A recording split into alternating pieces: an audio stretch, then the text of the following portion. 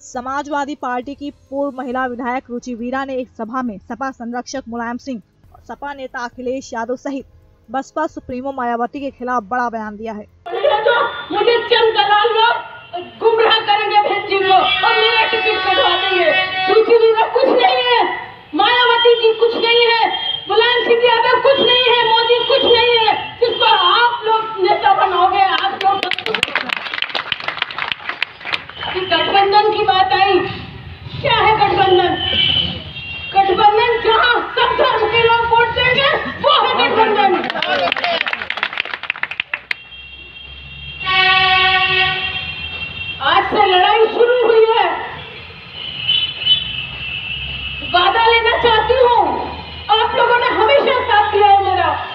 बताते चले आपको कि रुचिवीरा अपने दबंग स्वभाव को लेकर पश्चिम उत्तर प्रदेश के जाने माने नेताओं में अपनी एक खास जगह बना चुकी हैं।